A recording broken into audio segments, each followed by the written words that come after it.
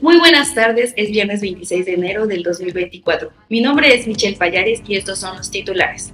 HM cerrará tiendas y despedirá a trabajadores en España. AMLO afirma que Mexicana de Aviación se irá fortaleciendo. Arca Continental obtiene más de 6 mil millones de pesos en la bolsa.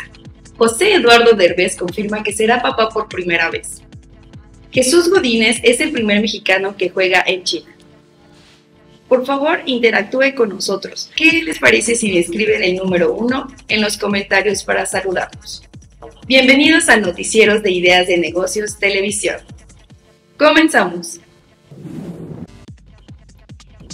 HM planeará cerrar 28 tiendas y despedirá a 588 trabajadores en España, informó el sindicato CCOO el recorte en plantilla dentro de la compañía de bodas tendrá un proceso de negociación que iniciará en septiembre.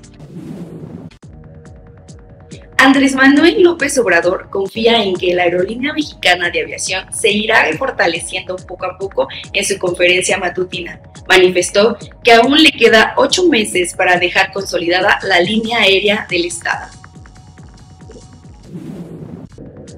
Continental obtuvo un financiamiento de 6.050 millones de pesos, luego de dos emisiones de certificados bursátiles a largo plazo, una transacción considerada exitosa al obtener los spreads más bajos para un emisor corporativo.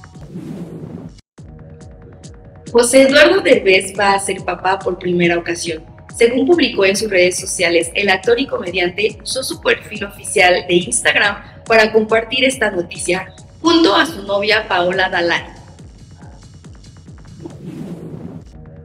Jesús Godínez se convirtió en el primer jugador mexicano en firmar con el club de China, el Nantong Siyun.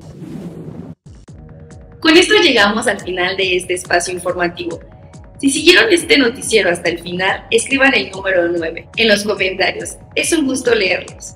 Se despide de ustedes Michelle Payares. Que tengan un buen fin de semana. Hasta la próxima.